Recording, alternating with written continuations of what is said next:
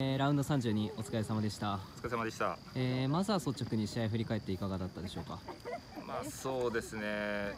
こう自分たちがこうやりたいサッカーっていうのができたかというと、まあまだまだこうできてなかったなっていう部分が多かったと思うので、まあ勝ち上がれたことは良かったんですけど、しっかりと次にまた修正してやっていきたいなというふうには思います。